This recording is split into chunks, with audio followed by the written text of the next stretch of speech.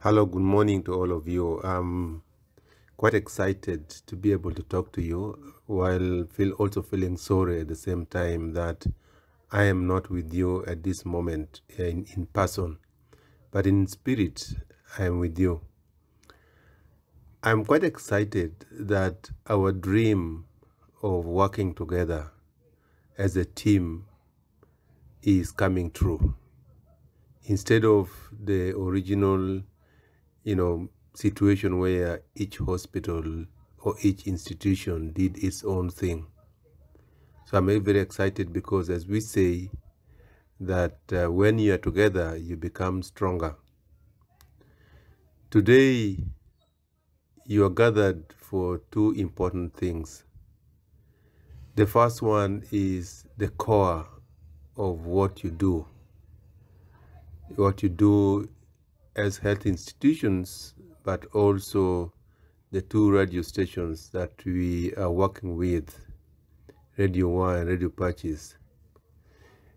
The core work that you do is quite important to development, but also the furtherance of the Word of God through healing and through passing messages. You are also gathered today specifically to try to see how you can sustain these institutions. And resource mobilization is one important thing, one of those important things necessary for sustenance of the institutions.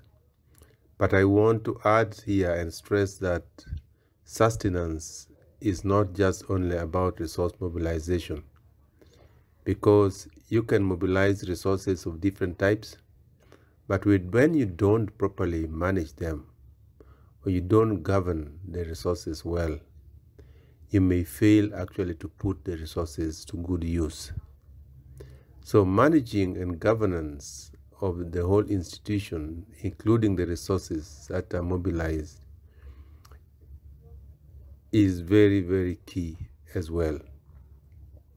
But I also want to stress here that resource mobilization is not about just writing proposals for asking for money.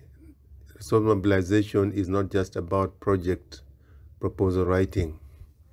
You can write very good project proposals, but fail to get the money for those proposals. And somebody else will write weaker proposals and may get the money. Response mobilization involves fundamentally relationship building. You need to build relationship with everybody so that people understand you over a period of time they don't only understand your project proposal because somebody can write a very sweet project proposal when actually behind the scene there's a lot of things to doubt. But when you have built relationship people understand you eventually. And through that there is trust building. So building of trust is very key in resource mobilization. So i'm talking about building of trust I'm talking about relationship building that can lead you to mobilizing resources. Now, when we are also talking about resource mobilization, we need to look at proper use of the resources that we get. Because when you use resources well and account, it adds to the trust it adds to the relationship building. It strengthens the relationship you have, and people will want to work with you. I hope that during this course, which is focused on resource mobilization, some of these things will as well be touched and not only concentrate on the fact that you need to write good proposals and uh, you know and send them where you have to send them to people who trust you, people have learned about you. That brings me to the other point that for people to know you and to know what you are doing, you need also to communicate. You need to be visible. So visibility creation is very important. Let people know what you are doing, not in an arrogant manner, but let what you are doing speak, and but also speak about what you are doing. So communication is another important thing. You need to know how to communicate, what to communicate, to whom to communicate, when to communicate, and communicate sometimes proactively. When you build relationship, don't wait for your partner or the donor to ask you something. You need to build relationship where sometimes you proactively share with your donors, with your partners, with your colleagues. You share what you are doing so that they become part of it. So communication, again, I want to stress, is very, very important. It helps to build the trust that we are talking about. It helps to create visibility. Let people know what you are doing. And as UCMB, we are very happy to share anything good about what you are doing to try to further that visibility. So I don't want to take too much of your time. I know that you have a lot to cover. I'm very happy to be part of this initiative. In this moment, I think years to come, I will gladly look back and say I was there when these hospitals started coming together and learning together and sharing. And therefore, I want to wish you and the facilitators a nice time teaching and learning so that this can be useful to our hospitals and for the good of the people that the Lord has entrusted us to serve. I wish you a good time, and with that, I declare the workshop open. God bless you.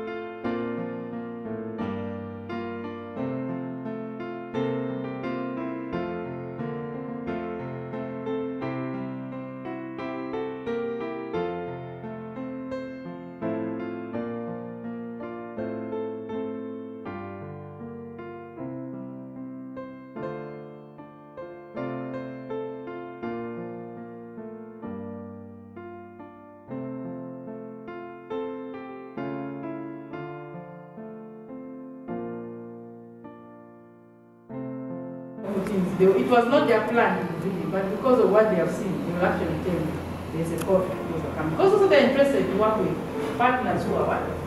accountable, who are giving them a good image to their back donors. So every other donors have also other sources where they're getting the funds. So they want to also engage, they will tell you because they know you are good and they want to continue working because you give them a good rating in, fund, in terms of fundraising and so on. So it's extremely important and we have to take this visit of the donor very, very seriously because it gives you the opportunity to strengthen your relationship with the donor. If it were weak, that's an opportunity for you to strengthen. Because uh, your relationship will be weak because of some things that happened in the past in your institution. You see now donors are pulled out, right? But now new management is in. The old donor is saying, let me first go back and see if things have changed. You have an opportunity to strengthen that relationship with the donor by what you say, what they will see in your institution, your preparedness in the institution. Um, and as I said in the morning, once the donor says I'm coming, it already shows interest in the donor. Well, you may not know what the interest is, but at least it's a good sign. Take it positive that that's a good sign that they're interested in your institution. A donor who has problem with an organization will not bother to go. Just send auditors. But the one who will actually say, I'm coming, and sometimes you'll even come for two days, three days. Wow, that's huge interest. You need to abandon your things, if it's possible, and give them the due attention. Because it can be powerful opportunity for you to seal and strengthen those relationships.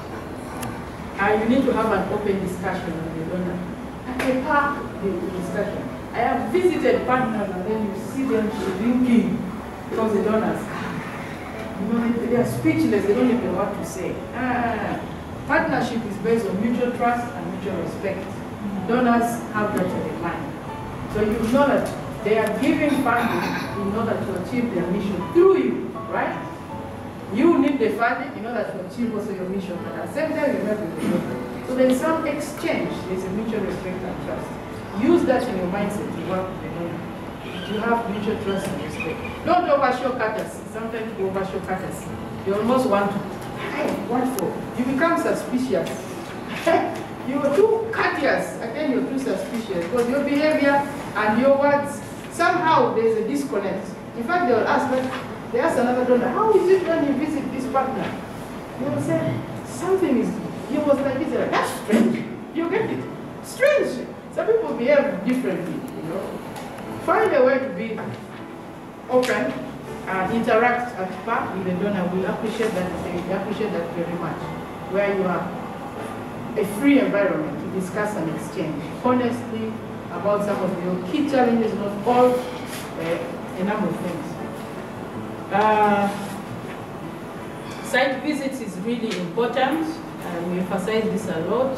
You need to plan that the visit seeing is believing. Some of the locations, some of the challenges you face in the field, you need those donors to experience those challenges. So that as they're advising you on things, they will realize that, oh my God, you can't go to place advice from another location to this location. Because your context is different and you have the experience of the context. Ah, they can be saying, you know that those recommendations will give you sometimes, but they will change once they come on the ground and you take them to those places. Very difficult place. Balance it, eh? let them experience how fieldwork is. They actually go humble. I went to uh, Lodwar one time to visit the partner there.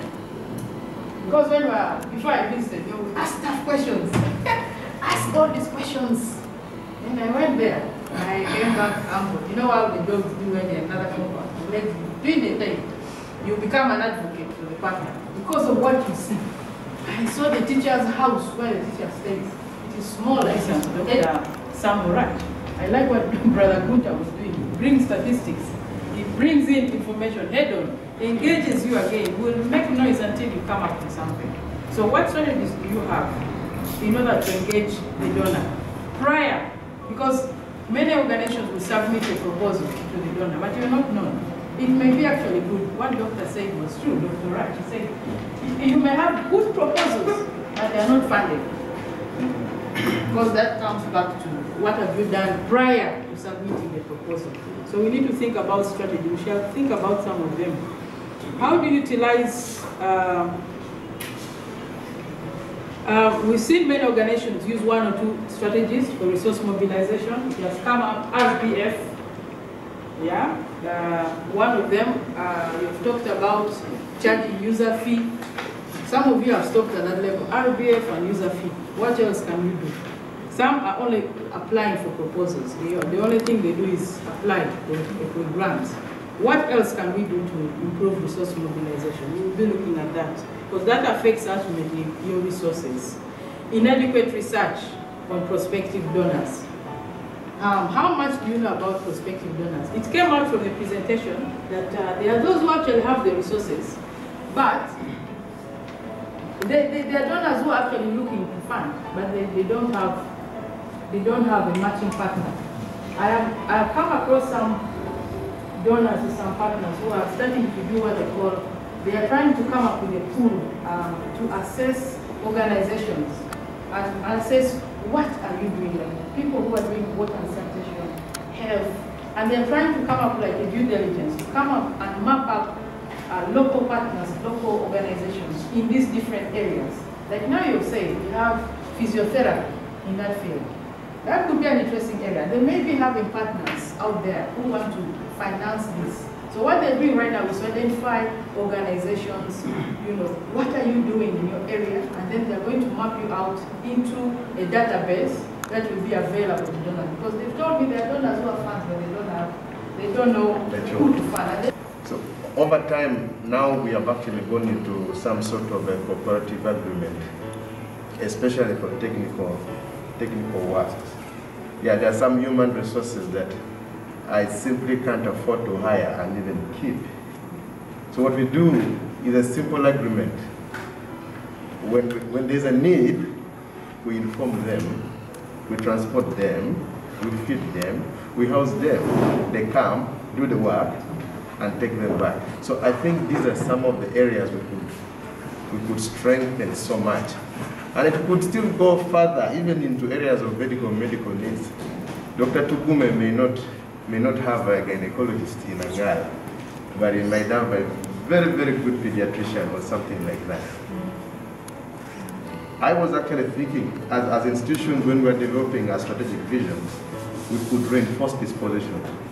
And, and just like that, we have a, a very good collaborative approach, together with the radio stations.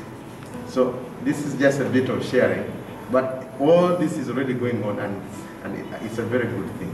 Thank you. his statement, and uh, like we have is what we call the Oxen 5, is uh, a console Yeah. uh, that combines the two or three studio together. Mm. It has developed a problem, and right now as we talk, it's with uh, radio Pacis. Their technicians made assessment on it. Mm. So, uh, since we were not having uh, specialized technicians to handle it, radio Pacis helped us a lot to identify the problem. Wow. So the only thing we're remaining with is to get the spare. And There was a book from uh, Nyapea. Uh, uh, yes, I think Nyapea. Uh, Him, I have worked in this network for coming to 17, 18 years. Now, the original aspect of coordination was that uh, these facilities should be part of the board members of the others. And I know in the greater Chole region, that I think is the system. Even when I went to West Nile, it was, it was being applied.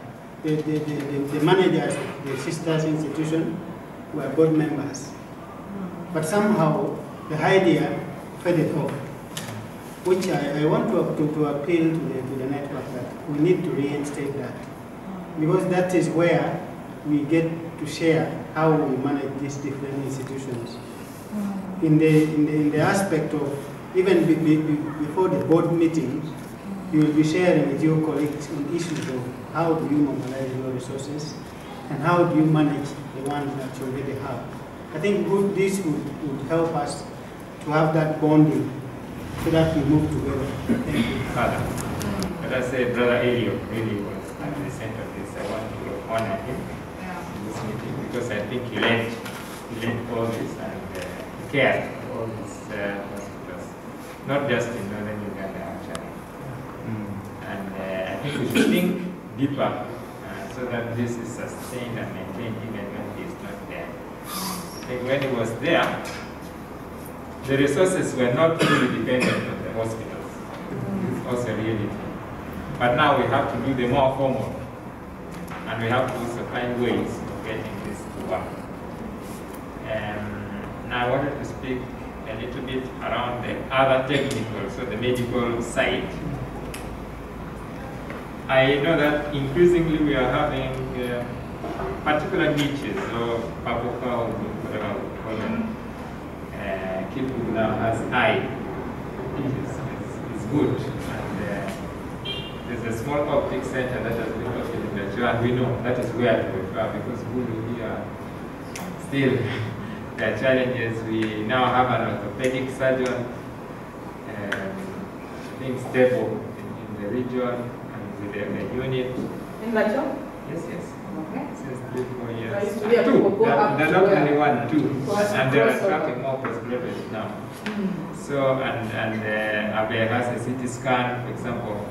These are opportunities that I think, uh, I'm sure that it's, uh, they cannot use it just for the patients out there. And of course, we know where to refer. But I want to say something about, uh, so we have had senior doctors. I believe they have uh, supported. And there are times of crisis that uh, each of these facilities might have gone through. Again, providing support. Sometimes it's formal, sometimes it's also informal. One big area of gap is research, which I see as opportunity. Uh, I have led a team to try to research and, and work with all the, the hospitals here, except across the, the Nile. And, uh, but this is an area that could also lead to resource, mm, to, to mobilization of resources. They, they, they felt like they could use a separate technical managers workshop because they were super specialized and then there were hospitals that were treating cough and diarrhea. We're in a situation where there's a lot of attrition, there's a lot of uh, labor mobility in our facilities. That's true. And money is just one of them. But another is the quest to develop.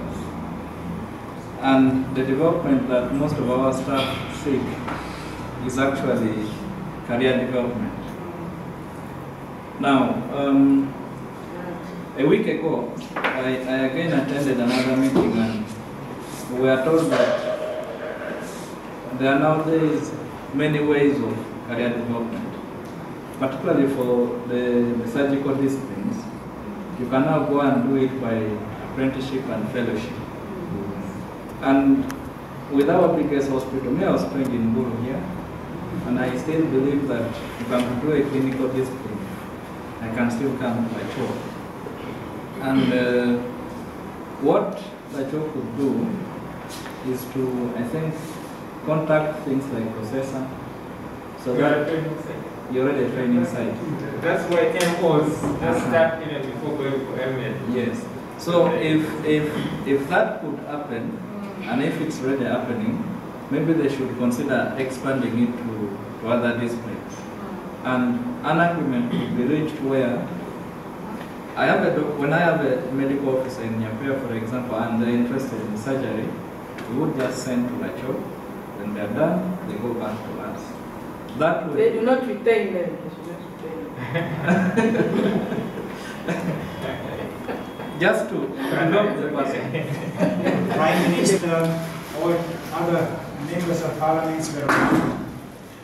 And so it was quite um, a good occasion also to tell these uh, political people that I hope that the Jubilee will not end up, it was very joyous, and of course, colorful, will end up in uh, insolvency of the hospital. And um, I also shared three weeks after with the UCMB network during a hospital manager's technical workshop in Kampala that this imminent insolvency is about to come. And of course, you know, when it's a first time happening, it's like when a, a woman delivers, she doesn't really know how it happens, how it goes.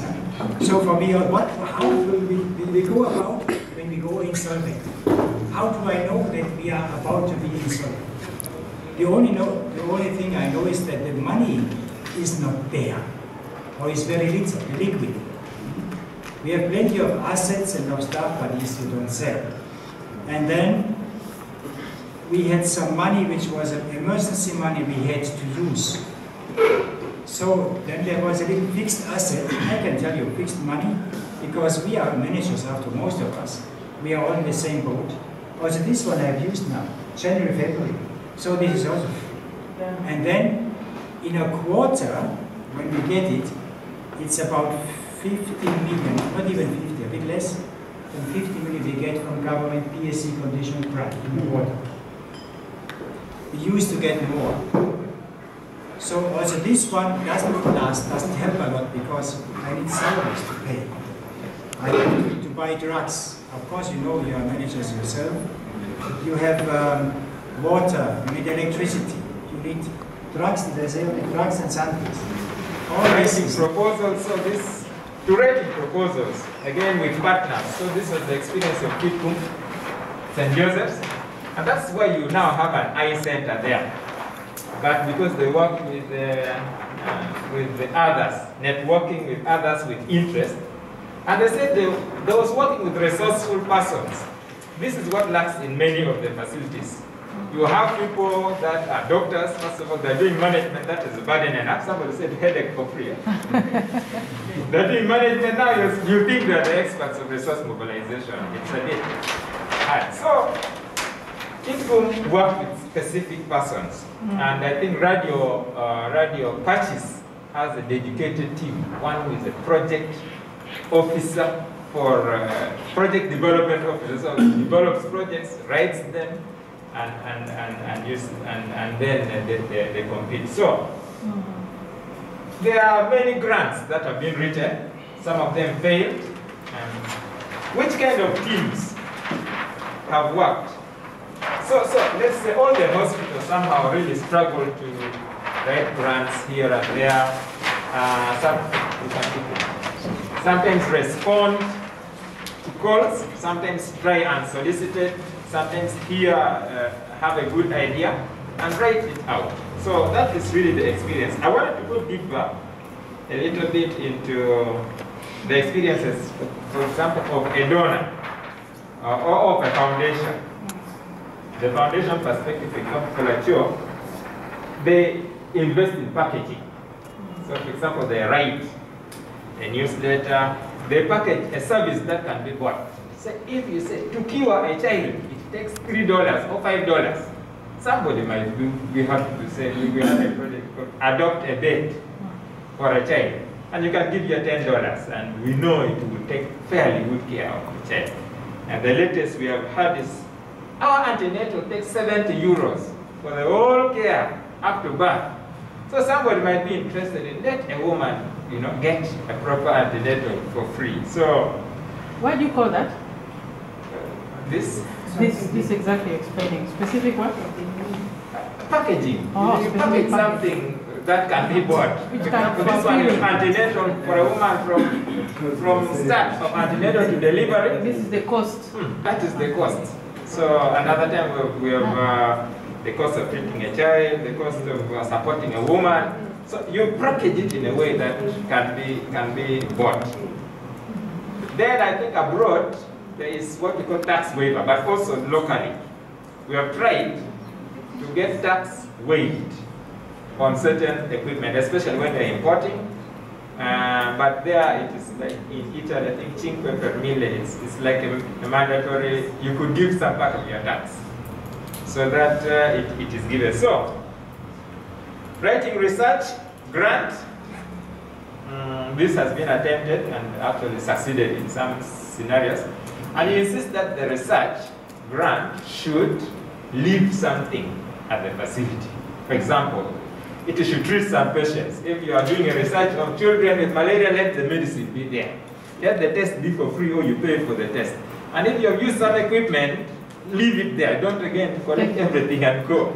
So, and then train some people. So, so such collaborations uh, have been seen to, to support. Um, some make uh, formal newsletters uh, or formal uh, outputs, especially our foundation writes uh, a routine newsletter.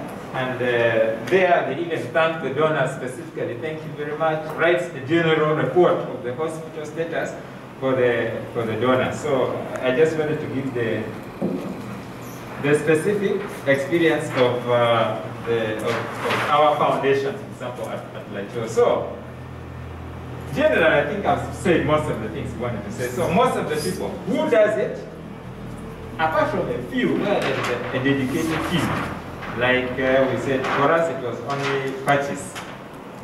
That seems to have a, team of five that discusses and sits for this purpose, driven by the project development officers. Most of the other places are admin, medical director, a, a, a duo.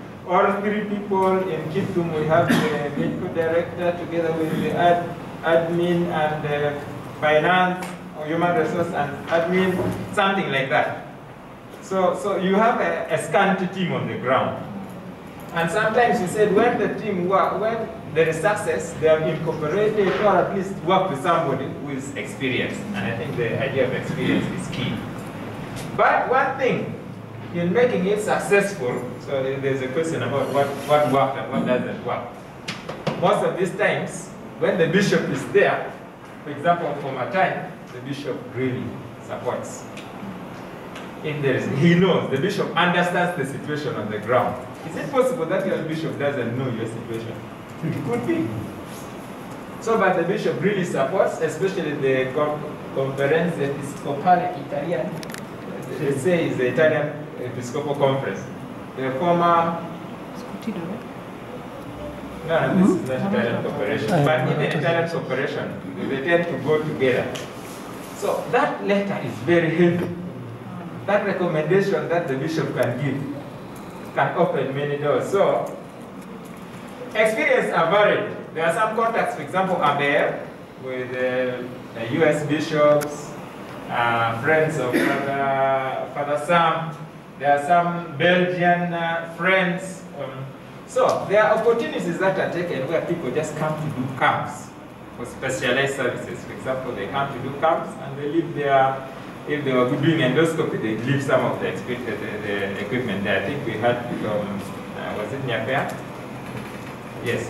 So, uh, or urology camps, uh, ophthalmology camps, and with this sometimes they bring staff, they bring uh, some training, and they, they bring some equipment, some medicines they carry with them. So, uh, now, I wanted just to say specific. So, there's also partnerships so German leprosy and TB project. This is supporting uh, Nyapea, especially Nyapea. And uh, there are also region projects to support equipment, COVID grant, GIZ. So, taking opportunity of whatever is on the ground like COVID was there. And we had the situation at hand, patients were there, government didn't want to recognize us. So you're right. And some people were able to support because of the nature of the emergency at that time.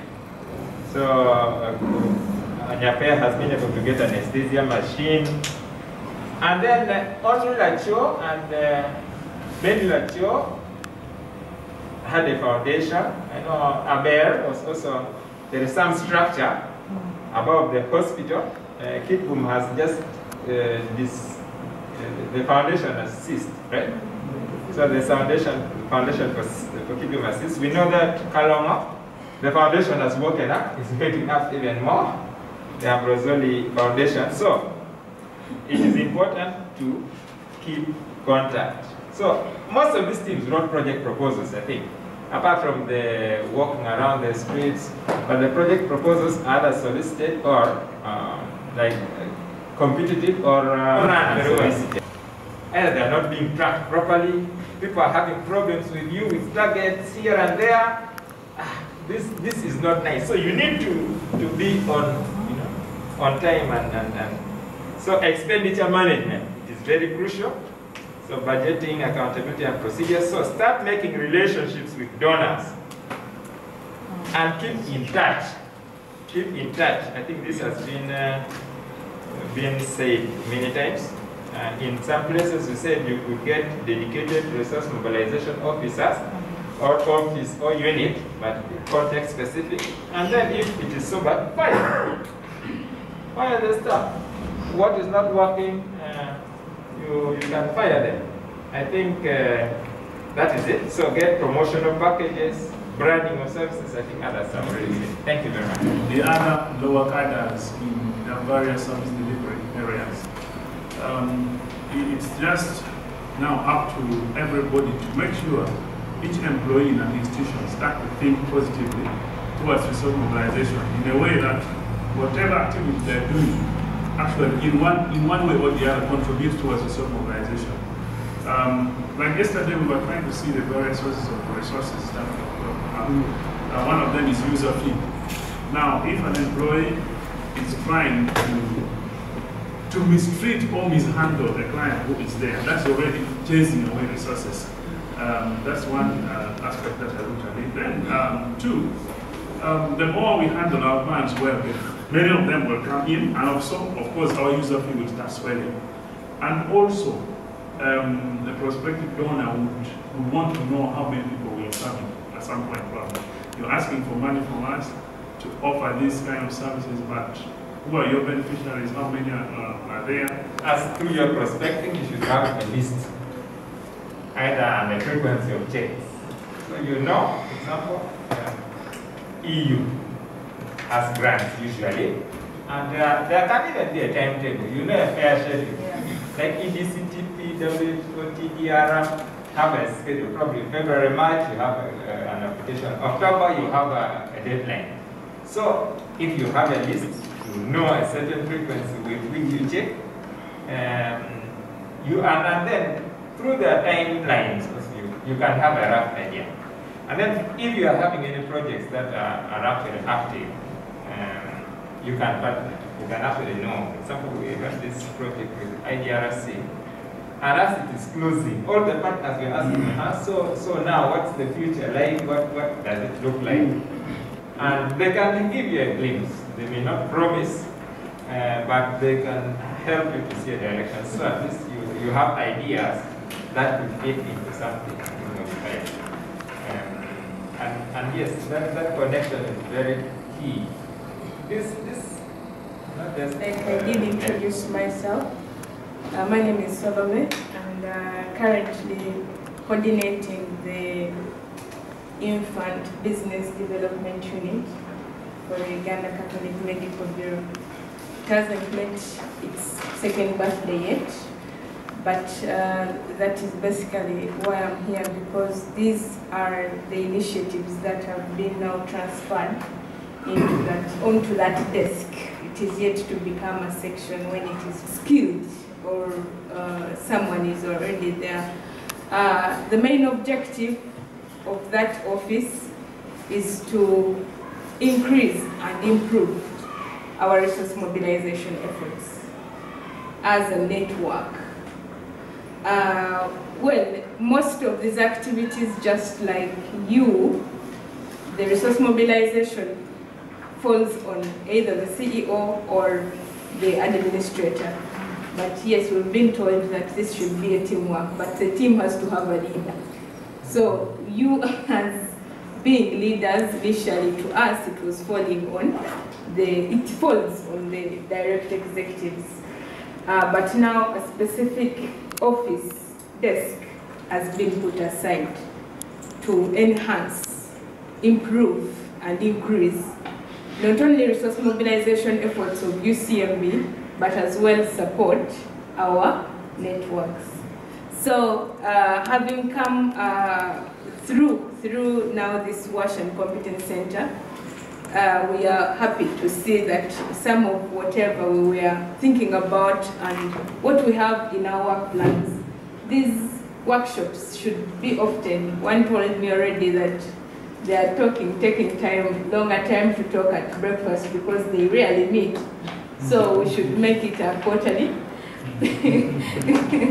a quarterly business to make to, to, to, to for you to share, not only share problems, but as well share solutions. We are already doing some things um, together.